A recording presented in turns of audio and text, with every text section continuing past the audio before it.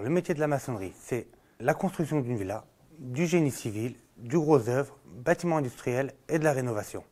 La journée type, c'est de s'équiper avec ses EPI, préparer ses outils, ses affaires, s'organiser avec ses coéquipiers, car on est rarement seul, puis on commence à travailler.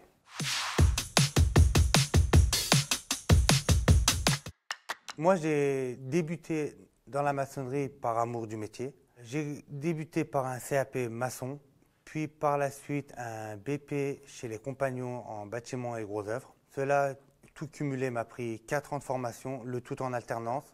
Être sur le terrain m'a beaucoup appris, beaucoup plus qu'une partie théorique.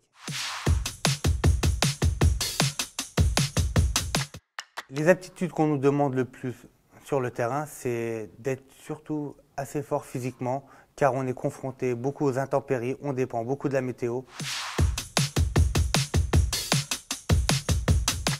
Les compétences pour être un bon maçon sont d'être autonome, avoir une bonne lecture de plan, de bien connaître les matériaux, d'être bon en maths. On se retrouve tout le temps avec des chiffres et des calculs et d'être bien débrouillard.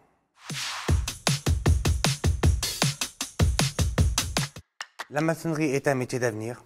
On aura toujours besoin de routes, d'aménagements, de trottoirs, d'escaliers, d'une porte ou d'une fenêtre.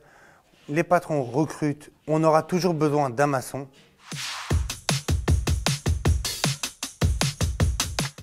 Moi, j'ai été passionné dans le domaine de la maçonnerie parce que j'avais besoin de me dépenser. J'ai été très gestuel. Mon côté dégourdi, débrouillard m'a toujours aidé. L'esprit d'équipe, d'être toujours confronté à des personnes, comparer les idées, m'a toujours donné envie d'aller plus loin. Moi, je me vois bien évoluer dans le métier, arriver un jour être chef d'équipe et diriger un chantier.